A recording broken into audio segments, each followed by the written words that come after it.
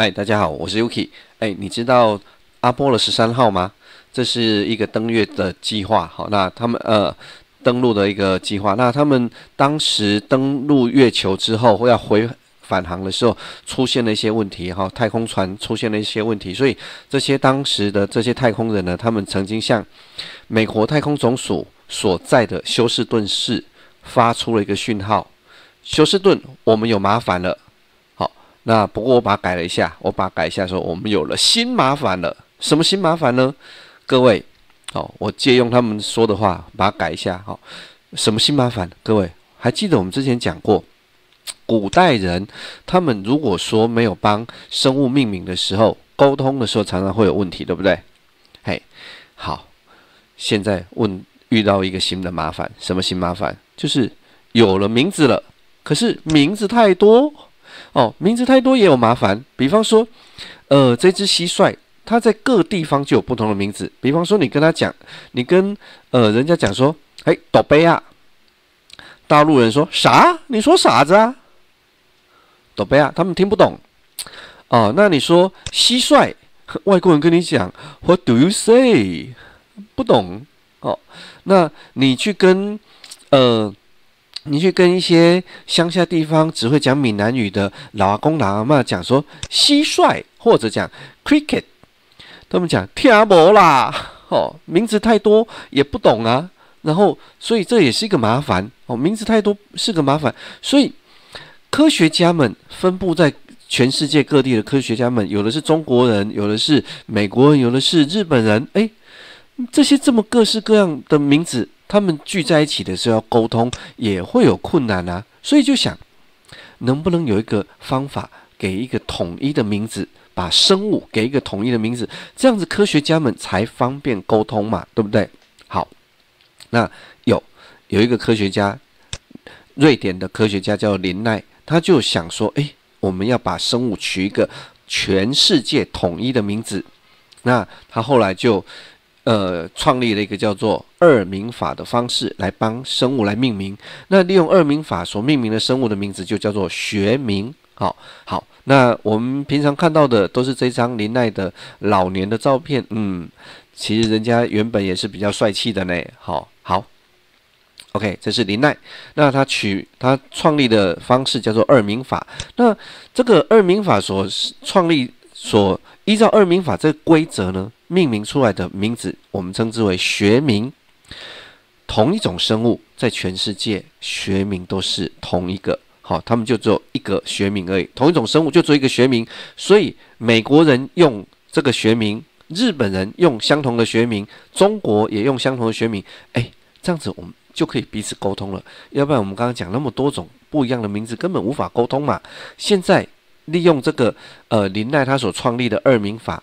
为生物命名，然后全世界都只有同一个名字，同一种生物就做一个学名，这样子就不会有问题了。好，它又有名字，而且名字是唯一的，哎，这样子方便沟通，然后又不会有一些混淆。好，OK，那我们就要来看看这个林奈他创立的学名到底是怎么一回事。好，那个学名呢？它是二名法所命名的嘛？哈，顾名思义，它是由两个名字所组成的，而且呢，这两个是拉丁文组成的。好，学名有两个拉丁文的名字所组成。第一个字叫做属名，是一个家族的名称；第二个字是种小名，是这种生物的特色。好，是这种生物的特征，然后它是一个形容词。好好，OK，讲到这里，你一定会嗯满脸问号。我的天呐，老师你说的很清楚，我听得很模糊诶。好，没关系，我知道你一定会有这困扰，我们自己来练习一次就好了，你就知道这个学名是怎么来的了。来，假设这边有一只猴子，呃，我们要帮他来定个学名，好，我们定帮他定个学名，OK。那我们来看一下二名法，二名法。我们说它的第一个字叫做家族名称，第二个字是特色，然后是用拉丁文所组成的。但是我们还不会那么厉害，我们不会拉丁文，所以我们先用中文来帮他写一下，然后之后再把它翻译成拉丁文就好了嘛，对不对？好，OK。所以它学名，我们说第一个是家族名称，第二个是特征。好，那这个呢是什么生物？猴子嘛。它看起来不像狮子啊，也不是老虎啊，对不对？好，所以它是猴子这个家族的，而且，哎，猴子里面还有很多小家族哦，有那种呃狒狒啦，然后呢山魈啊这些。那我们看到的这个，嗯，比较像是猕猴类的，所以它的家族应该是猕猴这个小家族。然后它有什么特色呢？我们仔细看一下，哎，比起其他的猕猴，比起其他的啊各式各日本猕猴啊什么的，我他发现我们发现，哎，它有一个特色，就是这种生物，它的脸好圆呐，脸圆圆的耶，所以它的特征就是脸圆圆的，好，所以它的学名就是猕猴，然后猕猴当中脸圆圆的这样子，但是现在还没完成，因为。我们现在写的是中文诶，学名是要用拉丁文来写。不过你不用担心，你不会拉丁文，我也不会，好，所以不用担心。我们只是用科学家他们已经命名好的，我们来查一下，做一个练习。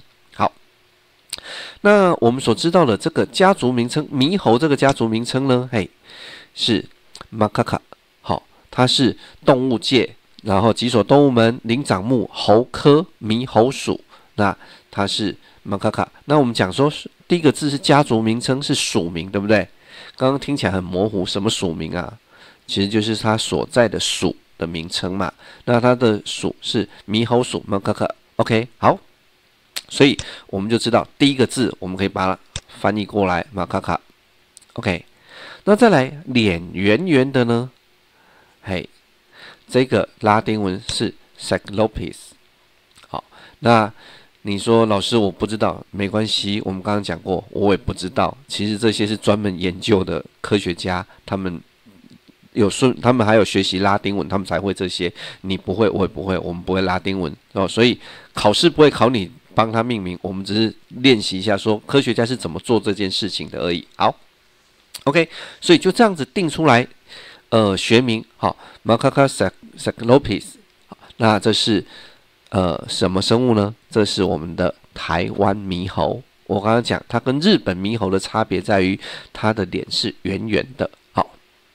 好，但是呢，还没结束哦。好，呃，当时林奈还有一个规定，就是啊，这个学名呢，它是专有名词嘛，它是针对生物的专有名词，所以呢，你第一个字母要大写，专有名词第一个字母要大写。好，那呃。我们讲它的这样子是一个名称，所以第一个字母大写，就像我们之前讲 John 哦，我们英文里面你看讲到名字的时候都大写啊，哦，所以第一个字母大写，OK 啊，这是第第二个不是哦，这边不用大写哦，只要第一个字母大写就好了。好，再来，呃，我们可以用斜体或者私名号的方式来让提醒大家哦，哎。我这边是一个名字哦，我这边是一个名字哦，所以我用不同的字，我用那个斜体字或者私名号来提醒你哦。好啊，我们平常在写的时候，比方说上课写作业，好或者考试的时候填充题，哎，你要写斜体字，可能很多同学不会，所以你就把它写正体，然后底下用尺画个私名号就好了，好吗？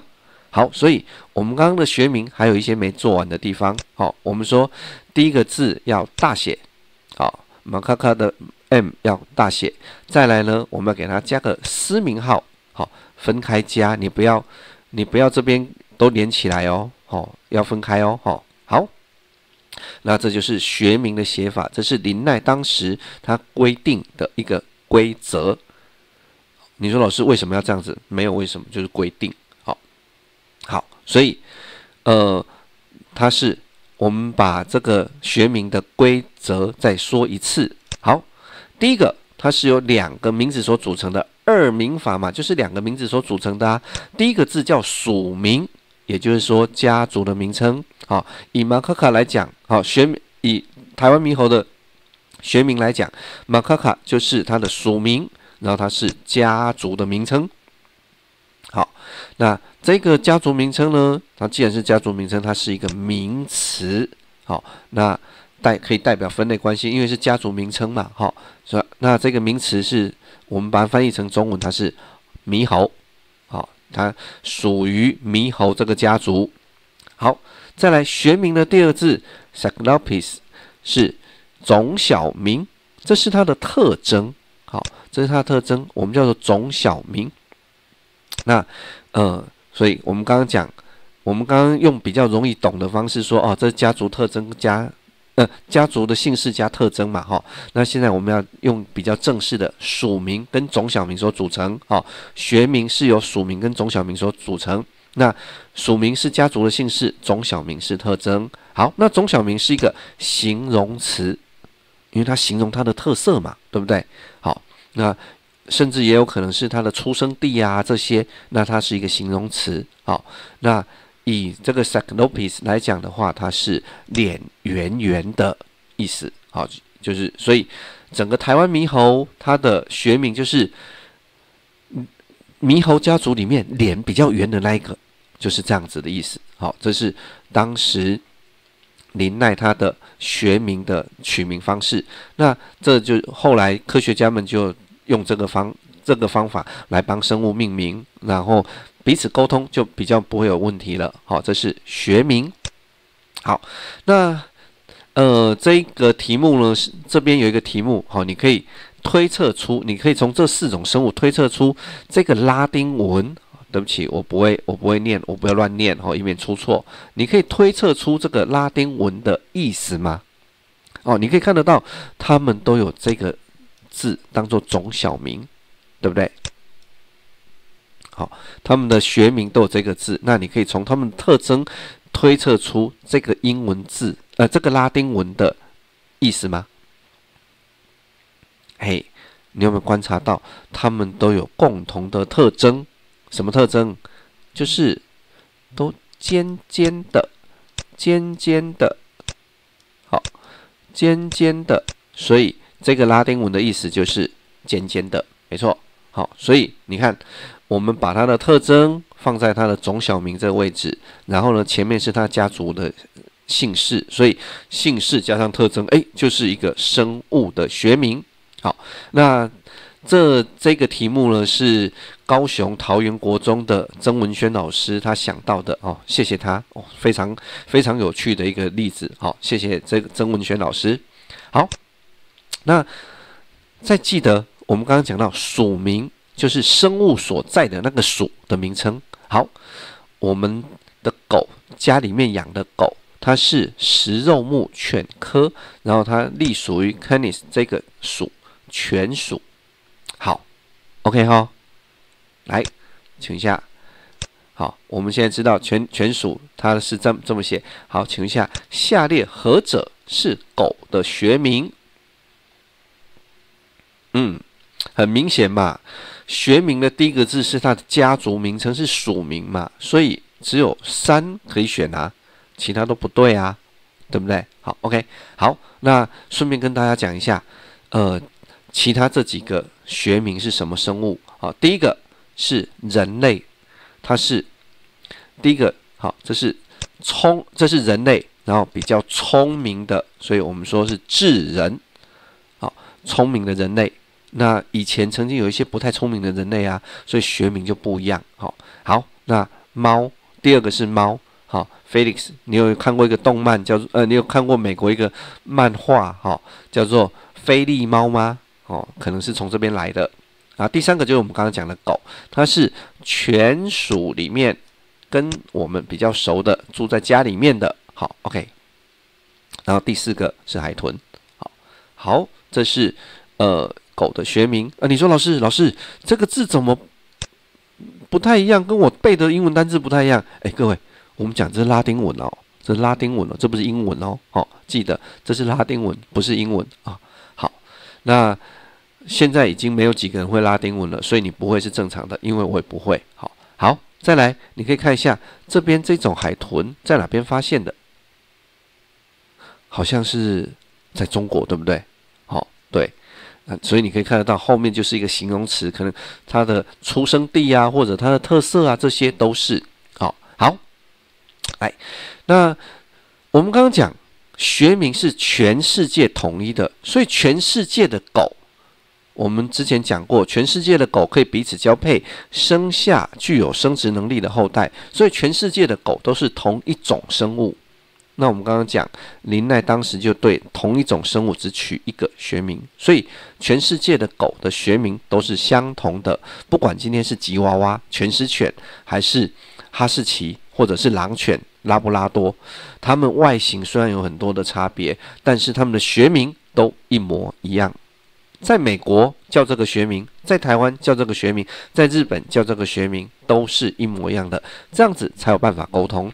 然后呢，全世界的狗都是同一种生物，所以它的学名是相同的。OK，好，那我们讲说这个学名呢，它可以表示分类地位跟亲缘关系。嗯，怎么这么厉害？学名怎么这么强？除了可以沟通之外，除了有一个统一的名称可以都沟通之外，它还可以表示分类地位跟亲缘关系。怎么办到的？拿个例子来做一下，就你就知道啦。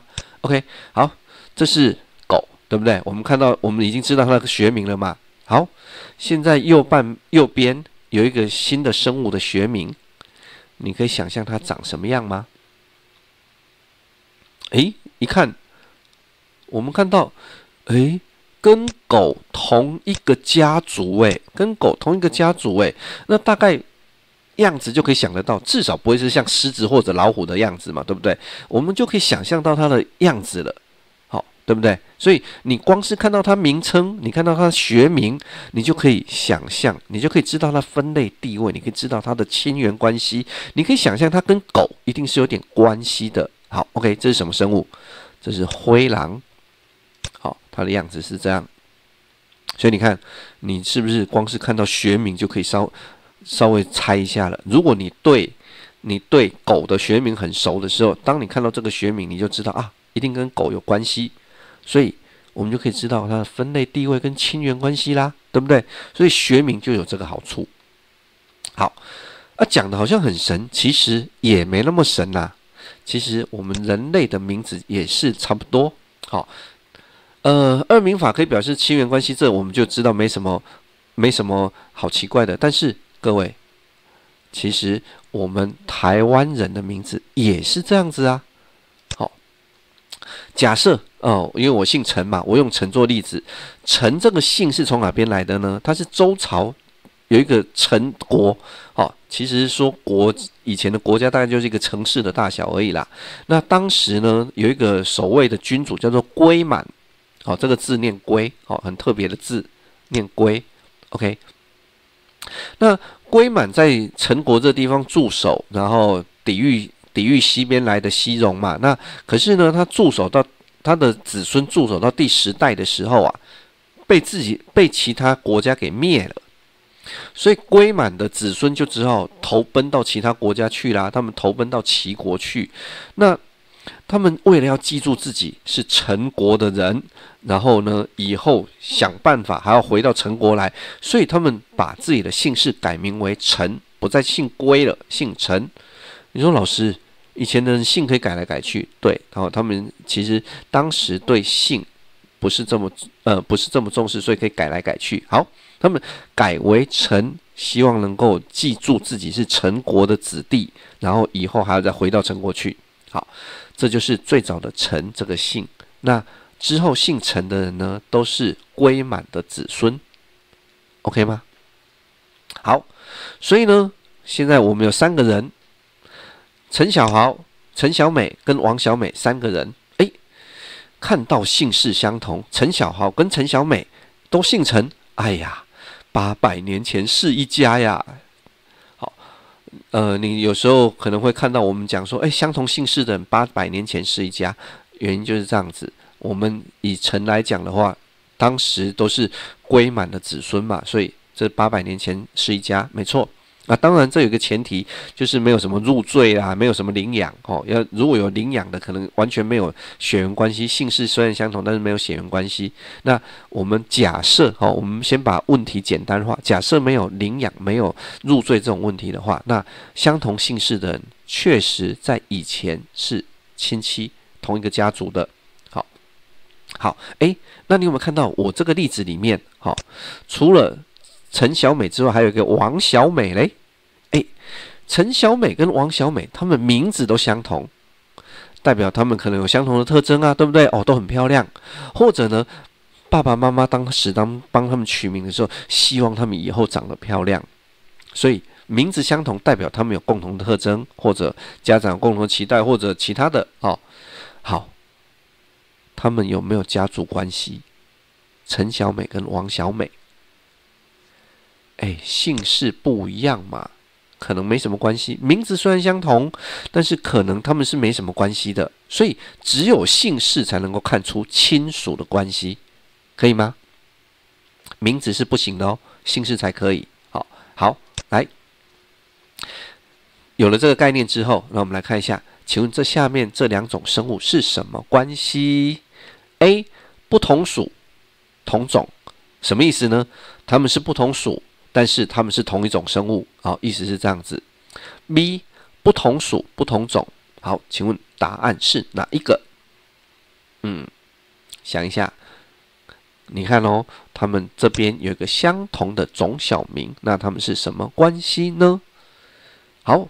用我们刚刚的陈小美、王小美来看，好，我们先先把这个问题先放下，用我们刚刚讲的陈小美跟王小美来看一下，好，来，陈小美跟王小美，他们名字相同，但是姓氏不同，好，请问一下，他们这这个是 A 不同姓氏，但是是同一个人，还是因为已经不同姓了，所以他们绝对是不同人？A 或 B？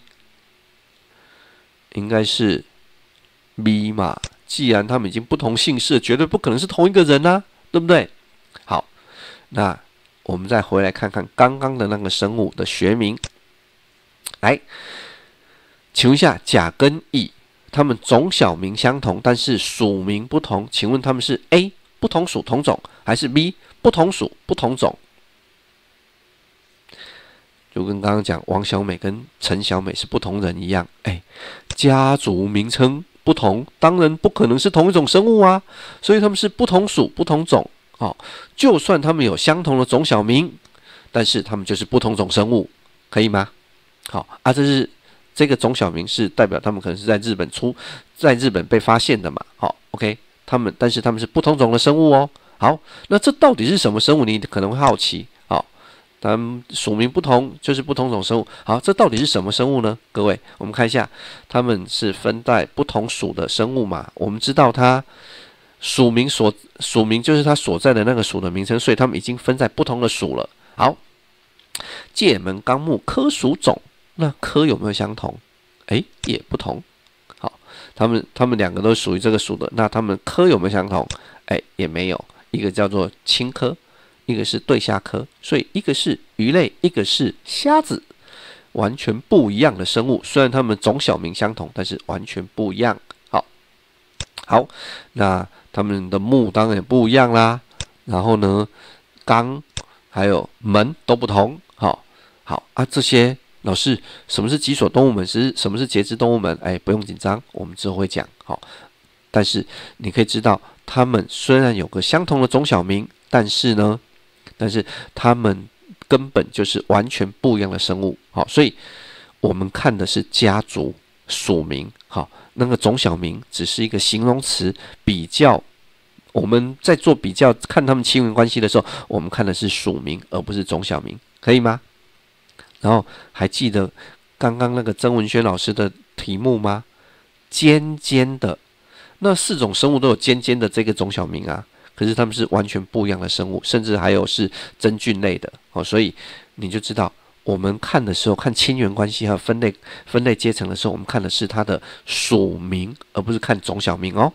好，好，那跟我们人类是一样的，家族名称是重要的。陈，哎，同一个家族的，八百年前是一家人哦。那王小美跟陈小美虽然名字一样，就不是就不是同一个人了。好，所以我们看的是属名。看家族名称，OK，好，那这是青鱼跟对虾，好，OK，好，来，那我们来看几个有趣的学名了，哈，讲到学名，我们看几个有趣的。第一个，这个你有没有发现它的属名就是荔枝？哦，荔枝，好，一看哦，而且它的种小名你还看得懂，有没有？嗯，中国的耶，哇，中国的荔枝属生物。OK，好，所以你看拉丁文你也懂了耶，嗯，荔枝中国的，好，所以你现在也懂了。OK，好，再来还有一个还有一个生物，它的学名也很有趣，好，大手工。你有没有发现它的属名跟它的种小名竟然是一模一样的？这科学家好懒呢。好，它是以它的学以它的叫声为学名啊，所以嗯，我猜测一下它的叫声应该是 “gecko gecko gecko gecko” 这样子的样子。好，就是以它的叫声为学名。嗯，这取名的科学家，呃呃，颇颇懒惰，中小名跟署名用一样的。好，这是有趣的学名。好，OK，来，那我们来看一看。讲完学名之后，我们要讲一个俗名。老师，什么是俗名？怎么又多了一个东西？哎，不用紧张，不用紧张，不用紧张。学名之外的所有其他的名称都叫做俗名。比方说，我们之前讲，我们刚刚做举例的斗贝啊、蟋蟀、cricket，这些都是俗名。好，这些都是俗名。那它不是学名嘛？所以这些都是俗名。好，那。呃，学名跟俗名的区别，你就要弄懂。好，我们来看一下这个到底是学名还是俗名。这个其实我们刚刚看过了。好，第一个它是拉丁文，然后符合二名法的规则，所以这个是学名，这是狗的学名，我们刚刚看过了。好，好。那除了这个由拉丁文组成，而且符合二名法规则，哈，第一个字母，第一个字母大写，然后斜体或者私名号的这些规则的叫做学名，符合这些规则叫做学名。那其他的都叫做俗名。好，请问一下，这个是学名还是俗名？Dog 是学名还是俗名？它是俗名。那西伯利亚雪橇犬，哇，看起来好专业的名称，对不对？这是学名还是俗名？一样，它不是拉丁文写的，它全都是俗名，可以吗？哦，虽然看起来好像西伯利亚雪橇犬，哇，好专业的名字哦，但是它还是俗名，只有我们中国这么称呼，哦，我们台湾这边这样子称呼，其他地方称呼的方式就不一样了。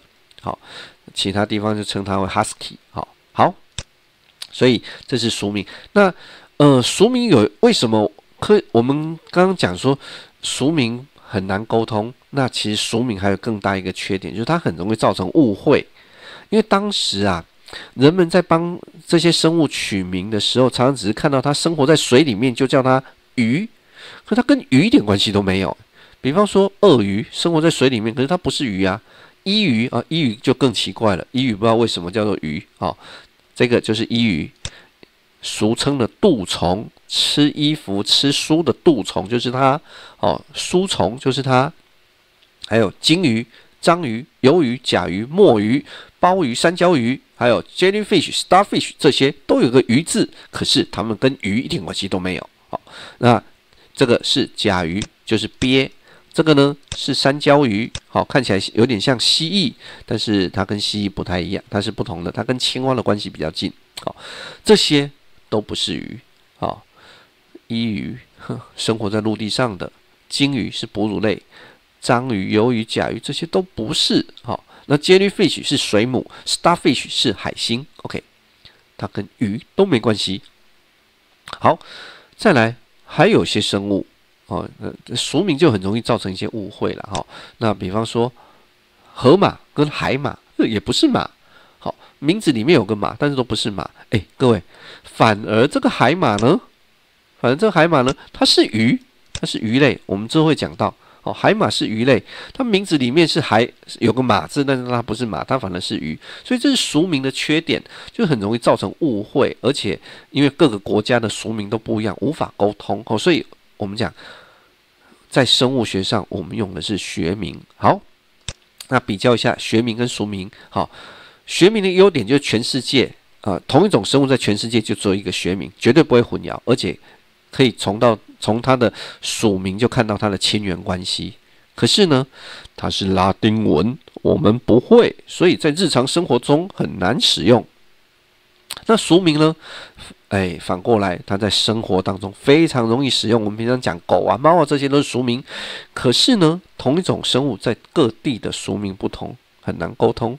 有些 dog、cat 这些你可以，但是呢，一怒是什么？一怒是日文，好，那也是一样，你就很难了解了。那而且还有很容易造成误会，比方说鳄鱼啊、鲸鱼这些都不是鱼，所以你很容易误会。哦，所以学名的优点，学名的优点对着的刚好就是俗名的缺点。那俗名的优点。优点刚好就是学名的缺点，哈，他们是两者相对的。那平常平常生活呢，我们当然都是用俗名比较多啦，因为毕竟拉丁文现在没有几个人会拉丁文，哦，所以学名大概就只有科学家在用。那但是如果你想要研究生物的话，还是要用学名，因为学名它是全世界通用的，绝对不会混淆。好，OK，好，这是学名跟俗名的差别。好，那我们来。做一下练习，来，请问一下，下列何者是蓝富贤的学名正确写法？考试的时候会问你这个，你说老师，我哪知道蓝富贤的学名？哎，你不知道，我也不知道，考试只会考你哪一个是正确的写法而已。好，我们知道写法，第一个字要大写，后面的总小名不要大写，然后呢要斜体，所以符合的。哦，他们这四个都有斜体，但是大小写有错，符合的就只有 A 这个选项是正确的。那第一个字大写，总小名的首字没有大写，所以 A 才是符合的。好，你只要记得这个就可以了。好，你不用知道蓝富贤的学名怎么写哦，那个太难了。你只要知道他的书写方式符合规则，这样就好了。但是他这个怎么念，怎么真正怎么写哦，不用担心，不会考你这个。好。再来，关于学名何者正确？A，同一种生物会不会有不同的学名？不会啊，如果有不同的学名，那就跟俗名一样，就造成困扰啦。好，就蟋蟀、多贝啊、cricket，哇，你的功下 what？哦，对不对？所以如果有不同的学名，就又无法沟通啦，所以绝对不可能有这种情况。好，所以 A 不对。再来，B，第一个字是形容词吗？不是，是名词，它是家族的名称，所以是名词。第二个字才是形容词。C 可以表达出分类地位跟亲缘关系，是的，没错。再来，猪，一个生物可以有许多学名。哎，这出题老师很懒惰，哎，怎么 A 跟猪一样的答案呢？好，那当然也是错啦。OK，好，所以答案选择 C。好，再来，我们来看一下。呃，这个是嘛嘛嘛嘛，这是白翅燕鸥的学名，请问一下，这个是一，这是什么文？我们知道学名一定是拉丁文，好，所以这是拉丁文。好，那它的前面这个字是白翅燕鸥的什么名？这是这是属名，这是它的家族名称嘛，对不对？好，家族名称，所以这是属名。好，那白翅燕鸥是。它的什么名？我们讲学名或俗名，哪一个是它的俗名？好，虽我们讲看起来虽然好像很专业哇，白翅燕鸥诶，而不是随便讲个海鸥而已。白翅燕鸥看起来很专业，但是对不起，它还是俗名。好，好来，那就词性而言，前面这个署名是什么词？是名词。因为它是家族名称，后面这个呢是形容词，是它的特征。OK，可以吗？好，这是学名，你要对学名懂的，大概就这些。好，再来最后一个。啊，对不起，还有还有一题，好，我弄错了，后面还有。来，底下有三种生物，请问一下，哪两种生物的亲缘关系比较接近？好，我们可以看到几个。我们可以看到几个，来，第一个，甲跟乙有相同的总小名，乙跟丙呢有相同的属名。好，请问一下，谁的亲缘关系比较近？我们说要看亲缘关系是看属名，好，不看总小名，是看属名，好，所以这个亲缘关系，乙跟丙亲缘关系比较近，可以吗？好，好，好，那属名相同，亲缘关系才近。好，我们看的是这个。好，来。那马跟驴交配之后可以生下骡，但是骡没有生殖能力，所以马跟驴的学名一样还是不一样？我们讲马跟驴是不同的生物了嘛？好，不同种的生物啊，因为它后代没有生殖能力啊，所以它马跟驴是不同种生物，所以它们的学名当然不会一样喽。哦，不同。好，北美灰狼跟东北狼长相不一样，但是它们可以在自然的情况底下交配，而且生下具有生殖能力的后代。所以，北美灰狼跟东北狼其实是同一种生物，所以它们的学名就会相同。好，它们的学名是相同的，虽然外表不一样，好，但是学名相同。就像我们讲狗，全世界的狗都可以生下具有生殖能力的后代，所以只有一个学的学名，全世界的狗的学名都是相同的哦。好，好，全世界人类的学名呢，一样不一样？全世界的人类都是同一种，所以学名也只有一个。好，好，最后来，我们上次看过这一题，好，我们把上面的把它填满了。但是现在有其他的问题，来，我们现在知道酶，好，酶它有一个形容词是木米，好，请问一下它的学名是什么呢？嘿，我们知道它属于这个属，酶是这个属，所以。第一个字就是它，第二个字就是它，OK 吗？所以酶的学名就是这样子，我们把它列进来，就是这样，OK。然后它属于被子植物，好，可以吗？到这里，好，我们看到，我们借由这个生物的名称，好，给它命一个全世界唯一的名字，那它是由属名。它的家族名称以及它特征所组成的，所以我们看，如果你懂拉丁文的话，你看到这名字，你就知道哦，它是哪一个家族的，然后有什么特色，你就可以知道了。哦，这是生物的学名，全世界唯一的名字，生物的学名。好，到这边有没有问题？如果没有的话，我们就下次再见喽。OK，拜拜。